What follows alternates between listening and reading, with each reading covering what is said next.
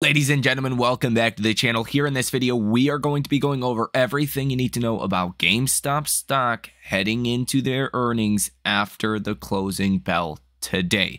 What the market makers are pricing in, what kind of move we are expecting as far as the options, and really what I've found over this past earnings season specifically is if the market makers are pricing in a move, that's typically what the stock does. The stock usually doesn't do a small move or a very big move if the market makers are not pricing it in. The market makers tend to have a lot more information than we do. So I think that's very relevant here for this video. Now, we are going to go over the technicals, the Ortex data, the short interest, the option chain, all of that and everything you need to know here in this video. We will also discuss other stocks that could move in sympathy to GameStop.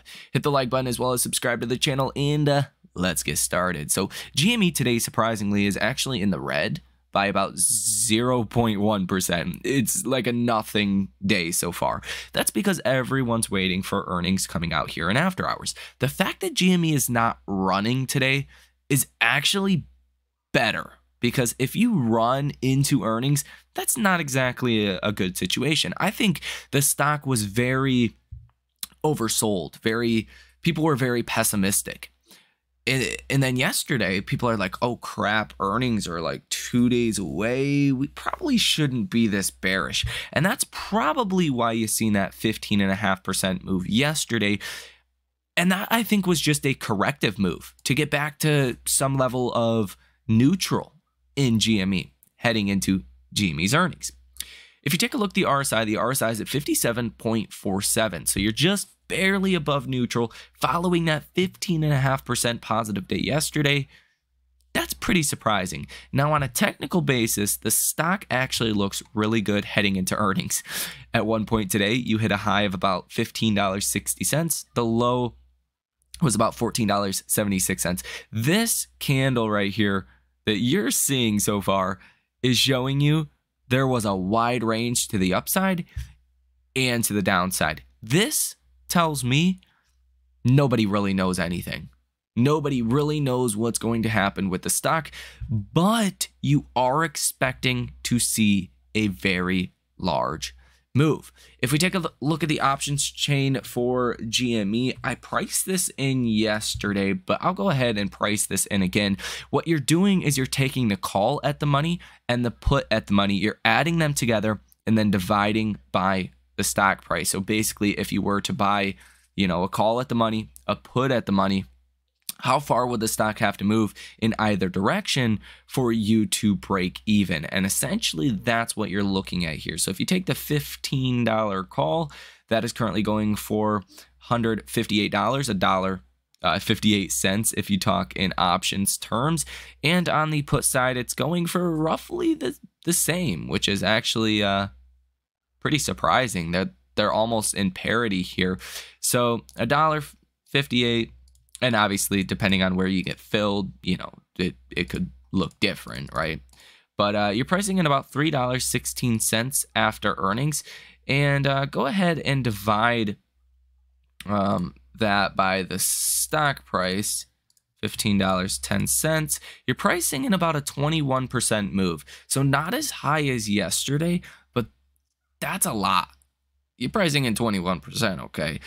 If you're playing the options in GME, you need to see a huge move or it's just not going to pay off. If you are playing the options in GME, I personally suggest this is not financial advice, but if you're already speculating in options, just go out further. Get a couple months of time because that IV starts to not be as bad, right? The implied move uh, is is not going to hurt as much if the stock does fall or maybe only rises 10%. Like if GME has good earnings and goes up 10%, you're still going to lose money. So on a technical basis, you actually look like you're set up in a pretty good spot. You're above your 100-day moving average, the low of the day today. You found demand around that 100-day moving average. So if I were to put my chips down on the table and say, is the stock going higher or lower after earnings? I think it's going higher. Now, I think GME is in a little bit different of a category compared to other stocks like AMC. That's the one that's really going to move alongside GME, most likely. Maybe a 50% move, 25% of the move. Let's say GME goes up 10%. AMC may go up two and a half ish percent. That would be my expectations. But GME is actually profitable. GME is in a weird position as well. There was news yesterday um, or over the past couple of days that Ryan Cohen's going to be investing GME's money into other equities on the markets. And that can create a holdings company for GME, really pivot and transition the business, a smaller Berkshire Hathaway, if you will. Now that GME is also profitable, they can kind of fund more of that activity. I think the markets are kind of curious what direction this is going to go in. Are you, you know, going to chase AI stocks? Are you going to go for um, more stable companies, blue chip companies? How how is Ryan Cohen going to invest GME's capital? I think that's really what people are waiting for on the markets. And don't even get me started if Ryan Cohen says he's uh, investing in AI stocks. yeah, that could be pretty insane for uh, GameStop, and I think shareholders uh, would like that. At least the stock would probably like that um, following earnings. Your next big level to be watching for is that 200 day moving average at $17.02.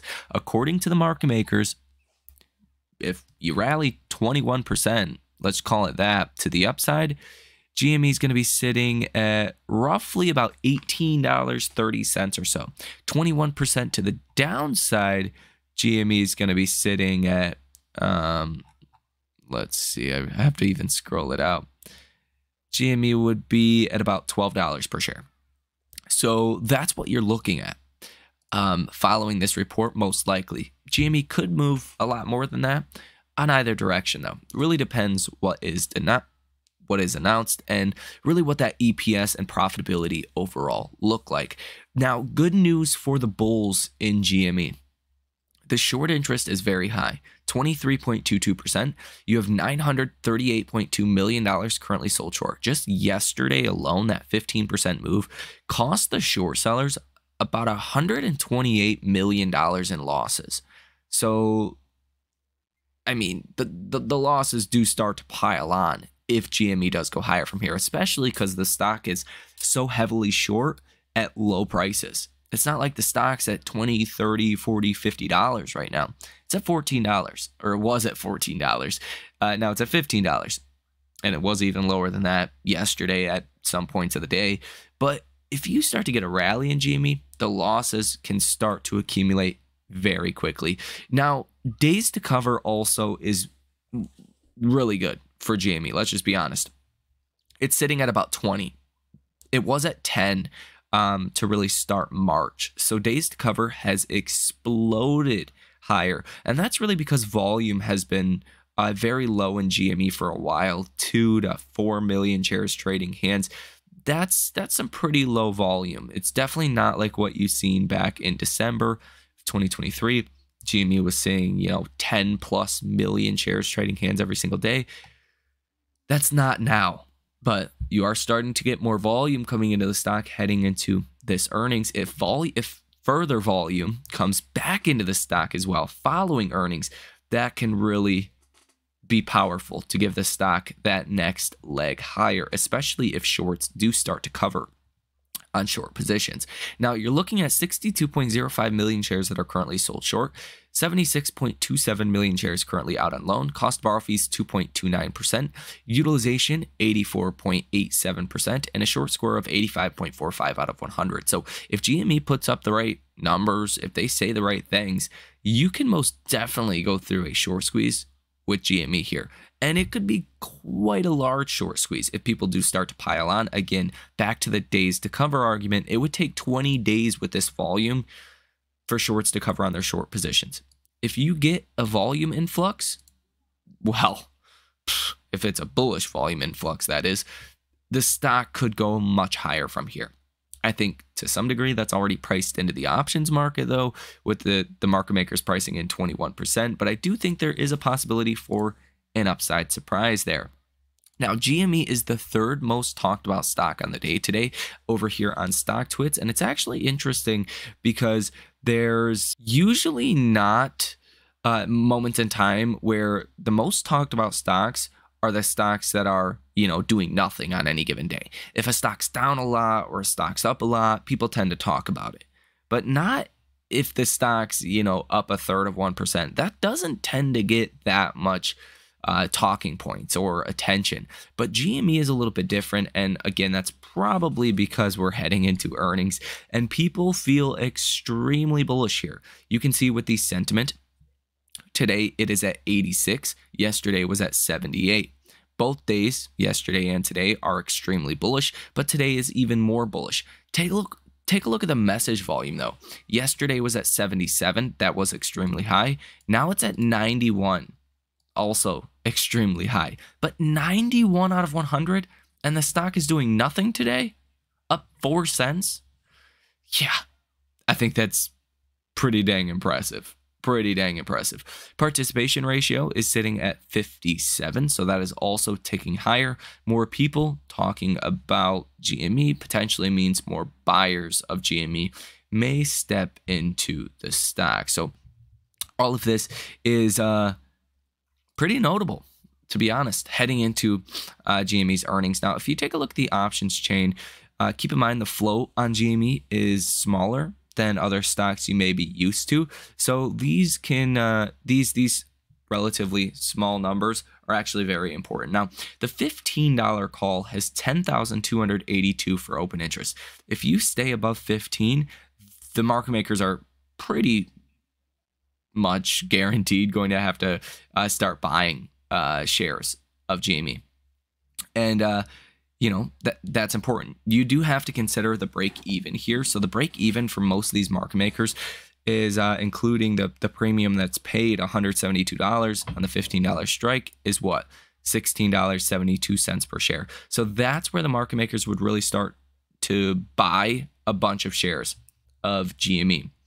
And that could be a million shares of GME, just that 10,000 call wall at the $15 strike, let alone 2700 for open interest at the 1550 strike, 4400 uh 4400 for open interest at the $16 strike, 1000 at the 1650, 4000 at the 17, 2000 at the 1750 and 5300 at the $18 strike. So there is a definitely some fuel here on the options chain to get some things moving in the right direction for GME. Again, it's really going to come down to earnings, but Ryan Cohen typically does not um, unimpress. He, he, he typically brings uh, a lot of good things to say on the conference call, and well, that's because he's one of the biggest shareholders in uh, GME. I believe he still is the biggest shareholder in GME. So he has a vested interest in how well GME does. And it's always a good thing when the CEO, when the person running the company you're investing in is also a big investor or the biggest investor or the founder, yeah, typically they're going to say or do the right things to, you know, uh, get the right reaction out of the stock. Okay, today you also had durable goods orders month over month that came in at 1.4% positive, beating expectations of 1.1% positive as well. So a little bit better than expected on durable goods orders. That just means the economy is not doing as poorly as maybe what last month's durable goods orders numbers suggest. Last month's durable goods orders were negative 6.1. They were revised lower today to negative 6.9%. So, uh, really bad number for last month. This is still not a great number if you're looking at this month over month, but it's showing the economy is not terrible. Things are not awful out there, but they're not that great either. Really, again, suggesting the Fed could and probably should start to reduce rates. And that's also going to have a positive effect on stocks like GME, some of your other interest rate sensitive names. You are seeing the 10 year Treasury yield trading down almost two basis points today, which is translating into some of your small cap stocks overall performing a little bit better. Now to the chart of GME. If you break above that 200 day moving average, you could run close to about $30 per share. The next level I would be watching above the 200 uh, 200 day moving average is just a flat $20 per share. If you break above 20, then you start to get to the next level about 23.50 and then 25 and then up here at about $28 or so. So above that 200 day moving average, you start to get into potentially larger upside. To the contrary, if you fall to the downside, you want to be watching this this pretty notable level at about $13 per share. That would be the level. You also have a gap to fill back down here to about $13.56 per share. And if you have bad earnings, that's probably where the stock is going. So let me know what you think about this information down below in the comment section. Hit the like button as well as subscribe to the channel. You guys have a great rest of your day, and I will see you in the next one.